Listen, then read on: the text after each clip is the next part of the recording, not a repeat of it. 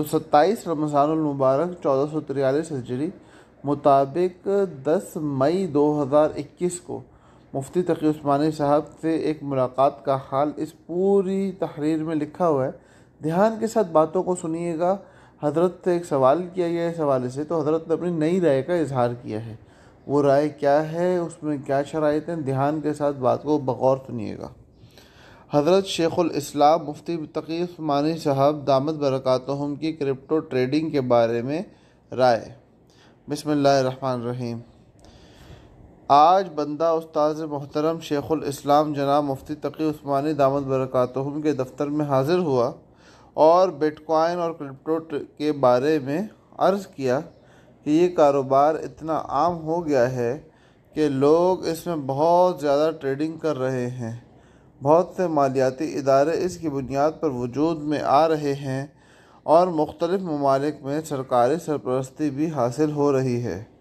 तो क्या अब भी आवाम को यही मसला बताना चाहिए कि तहकीक जारी है या कुछ शराइत के साथ, या कुछ शराइत के साथ इसको जायज़ बताया जा सकता है? इस पर हज़रत मुफ्ती साहब ने फरमाया, फ़िलहाल तो मैं ये कहता हूँ कि हमारा इस पर इतमान नहीं है।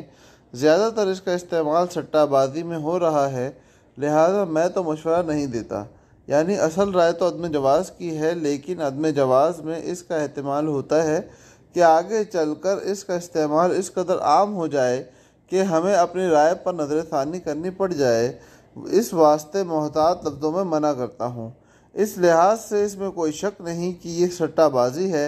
इसका शियो भी मतलूब नहीं देखो, ये आलमी साजिश होती है। पहले हमें पेपर करेंसी में लगाया।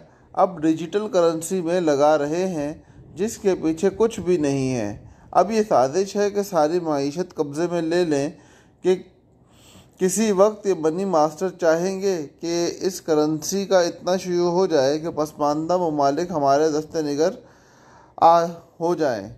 इसलिए हम इसकी हौसला अफजाई नहीं कर सकते। और फ़िकी लिहाज से इसका कोई जवाब भी समझ नहीं आता। नोट, बंदे ने हज़रत की ये गुफ्तु लिख कर हज़रत की खिदमत में पेश की तो हज़रत ने बगौर पढ़ने के बाद इसे आगे शेयर करने की इजाज़त बरहमत फरमाई। सत्ताईस रमज़ानमबारक चौदह सौ तिरयालीस हिजरी ब मुताबिक दस मई दो हज़ार इक्कीस।